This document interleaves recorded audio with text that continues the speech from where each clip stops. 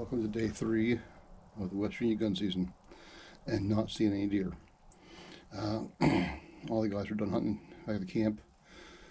We got a doe and a fellow who came down from Ohio got like a little four or five point. So that's all that's been happening so far. Not much deer movement. So we're gonna sit here today. I gotta go to work today at 10. We'll come back out this evening. So we'll see you in a bit.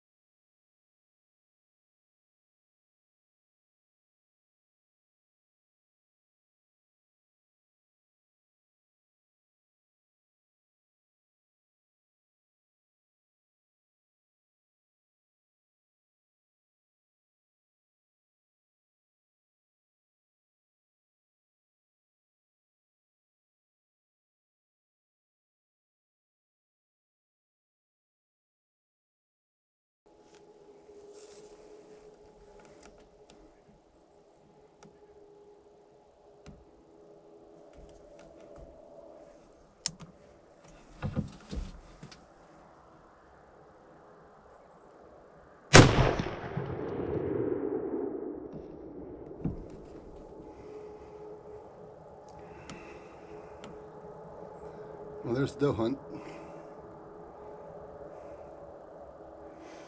Over. I don't know if you saw that or not, but she went straight down.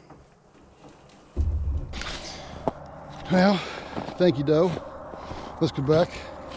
I won't show you all that, but I gotta go back get the tractor and get her back here and get her cleaned up and taken care of.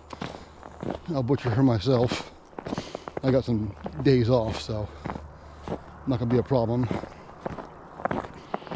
That'll probably be the last deer I shoot this year. I got a buck and a doe now. I'll go hunting, but it's gonna have to be a really big buck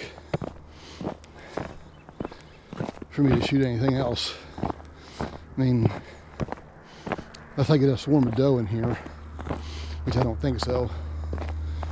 But hey, it's been a uh, took a little longer than expected, but she stepped out. I didn't see anybody with her. Right before I shot, another adult doe stepped out. I checked it, made sure it wasn't a baby. It wasn't. It was another adult further back. So I took that one. All right, thanks for watching. Talk to y'all later. Bye.